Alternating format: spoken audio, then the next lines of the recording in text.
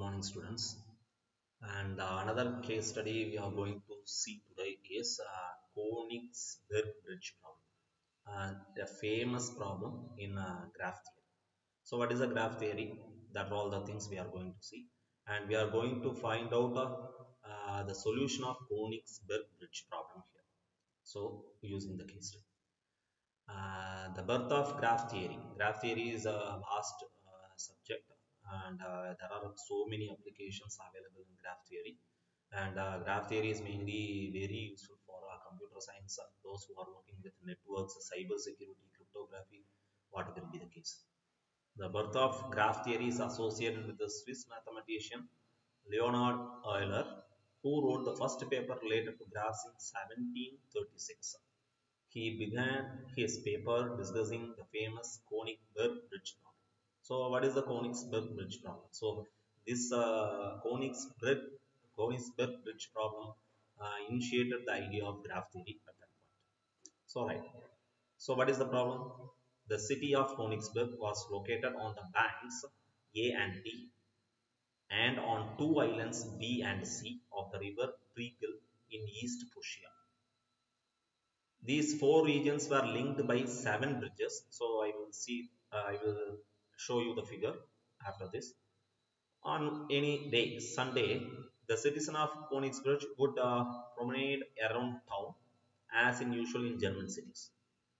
The citizen wondered whether it is possible to plan this promenade in such a manner that they could leave the home, cross every river bridge exactly once and return. This is their main problem. So just to see this diagram, this is the uh, city of Königsberg so here if you see this is the Königsberg, city of Königsberg and uh, it's the bank A on the, that side and this side uh, will represents A and D. A and D represents the banks of the river and it is connected by uh, seven segments or seven bridges which is shown in green color 1, 2, 3, 4, 5, 6, 7. B and C are islands. Okay so B and C are islands. So it is represented in the diagram. B and C are islands. A and D are banks of the river. And A and D are banks of the rivers are connected with the islands.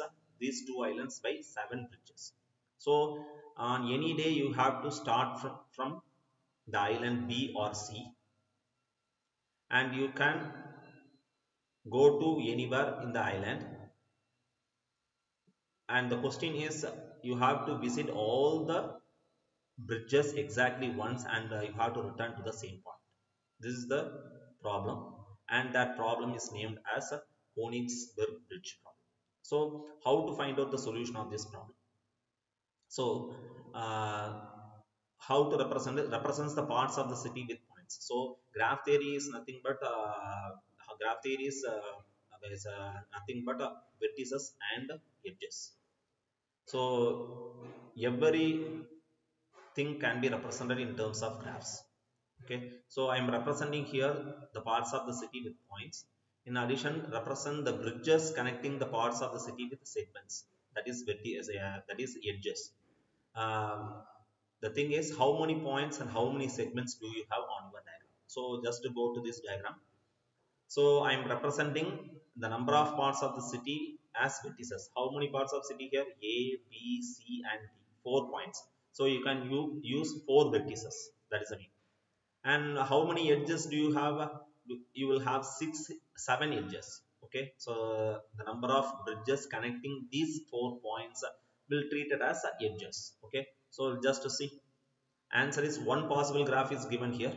Uh, the number of points here is 4 that is the number of parts of the city and the number of segments is equal to 7 that is the number of uh, bridges so this is the uh, representation of the Königsberg uh, bridge problem in terms of graphs. A, B, C and D are vertices of the graph.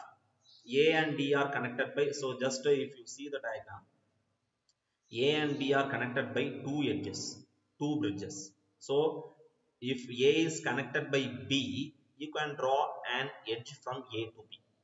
So A is connected by two bridges here. So you can draw two lines from A to B. Similarly, B is connected to C by only one edge. So you can draw a single edge from B to C.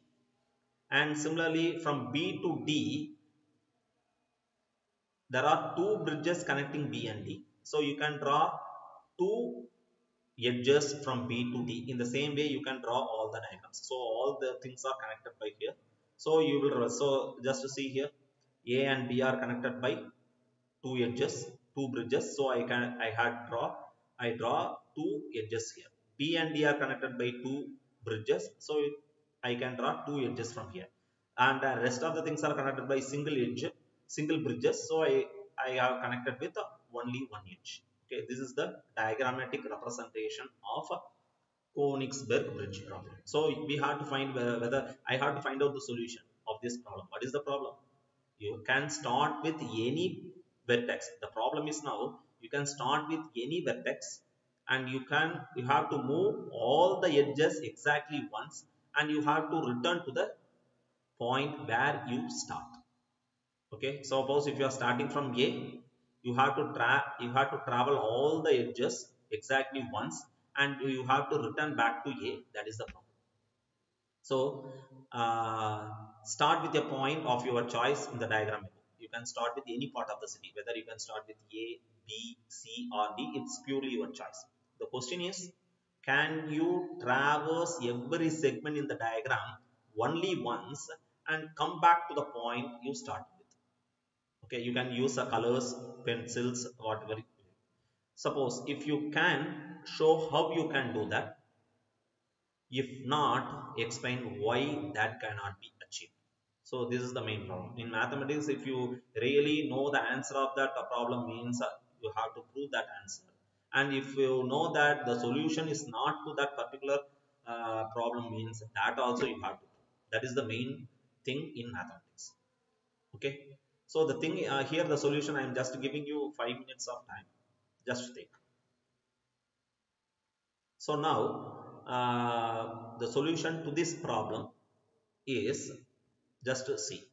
Euler showed that no matter at which point one begins cannot traverse every edge and come back to the starting point without retracing one steps.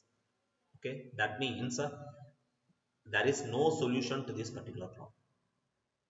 So you, if you can start with any point A, B, C and D.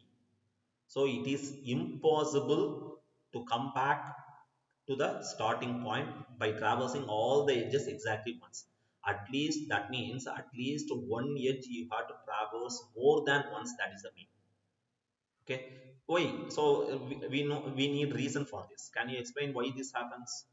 The answer is uh, he found that the famous uh, theorem in order to traverse every segment in the diagram, each vertex needs to have even number of segments coming out of it.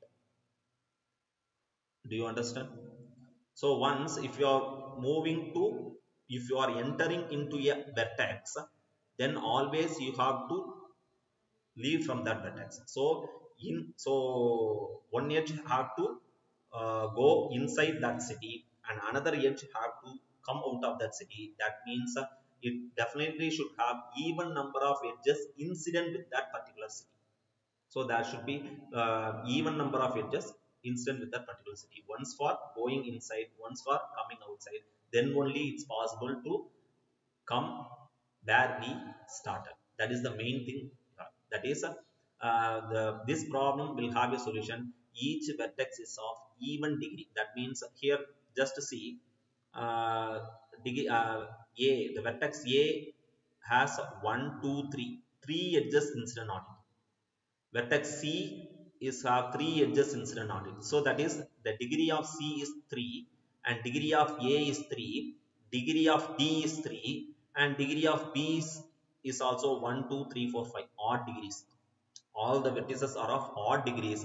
So the thing is if the vertex, if all the vertices in the graph graphical representation is of even degree, then it possible to start from a point and by traveling or traveling all the edges exactly once and come to the same point. That is the main observation, main result that he has found on Euler's. So Euler's is considered to be the father of graph theory.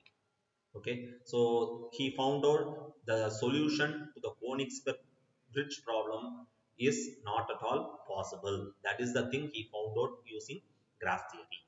Okay? So even if you uh, can't able to find out the solution you have to give the appropriate steps why you can't find out the solution. Hope you understand and hope you enjoyed this artist okay